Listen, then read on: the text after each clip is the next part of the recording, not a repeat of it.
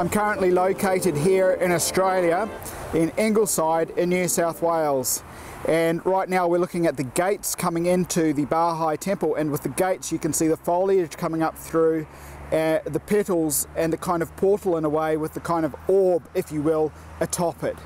Uh, we'll see further symbology of that at the temple. Now there's not a lot of symbology here because they have a lot of faiths and they try to actually exclude a lot of symbology but nonetheless we'll have a look at various things. Here is a sign for a start and on here we can see reference to the 40 meters, the 40 meters being the height of the temple and this temple would currently be one, one of only seven in the world. So just to note, with the number 40. So that would be the measurement from the crypt here, and there here is a door leading down into the crypt, the under uh, underground part to the Baha'i temple, and of course it would go to the top of the temple there. So 40 meters high. Now Baha'u'llah spent 40 years in jail. I'll say strangely enough, because say uh, within uh, the Quran, uh, within Islam, uh, with uh, the Bible, etc., uh, Moses and Elijah and Jesus, and and then within Buddhism, of course, the number forty reigns through with timings and spiritual growth and these sorts of things. There will be an alchemical thing to this whether this was uh, whether this is part of uh, something from the further spirit uh, spirit world I'm not sure but uh, nonetheless number 40 it is what it is. The Baha'i uh, uh, faith in a way includes the number 40 also. So we'll just have a look at the catalogue for a quick moment here and flicking through just for a moment. So here is a helicopter just out of interest putting the fane on and uh, I think that was in 1961 con during construction in 1961 and we'll just keep flying through here for a moment. We'll have a closer look at these chairs. Here are the other temples. This one here in uh, Chile and uh, this one here, and uh, I'm familiar with this one here in uh, New Delhi as well with that lotus configuration, those petals are unfurling. Here we have some specific numbers regarding dimensions of, of the temple, this temple here in Sydney. Just a shot here within the booklet of a lady giving a, a, what looks like a, a sermon here, but uh, sort of multi-faith, uh, whether or not they really do sermons, but it's more of a meditation area, they say. But uh, anyway, we will have a further look through. What we'll do now is just head over to the information centre here for a moment. So just walking down into the information centre. We've got the uh, little model here of the temple.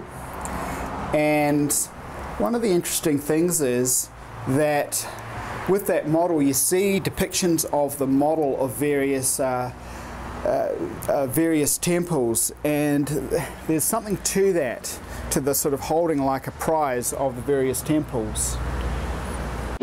So I'm currently in the information centre and uh, just with this particular temple here you can see the, uh, the foliage going up here, a bit like the, the, sort of tree of life in a way and you yeah. can see it on the windows also. Mm. But just uh, coming around here so this is the uh, calendar right here. So the year starts on the 20th of March yes. each year. And then coming down here, you have the month of fasting, which is from the 1st of uh, March to the 19th right here. So that finishes off the year. So it's interesting how the numbers kind of uh, flow through uh, the, with the Baha'i faith.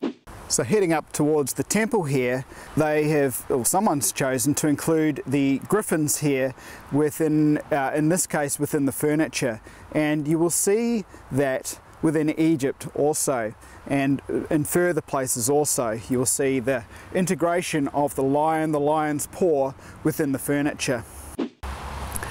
An interesting thing about the fane up here is that you have those little stars all through it and in a way it's kind of like an energy release at the top of the dome and I can certainly point to the, uh, this sort of symbology and that is perhaps a, a, an area of release of energy to the surrounding uh, to the surrounding area of this temple, strangely enough.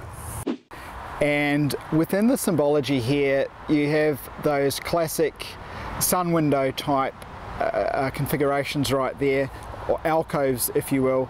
And another aspect is the foliage there going through from the sides uh, with that kind of portal like quality to it that you will see all around the world in various temples, particularly in India and particularly, uh, particularly on uh, Western churches and that sort of thing also within the design. So as we finish up by looking at a few further photographs from the Baha'i Temple in Sydney, uh, I hope you enjoyed the video, a bit of a brief tour. And uh, on the way back, uh, we noticed this griffin, an elemental griffin, as visualized by uh, people within esoteric circles, a very real creature, I would suggest, on the back of a truck. Uh, I'll leave it at that. Bye for now.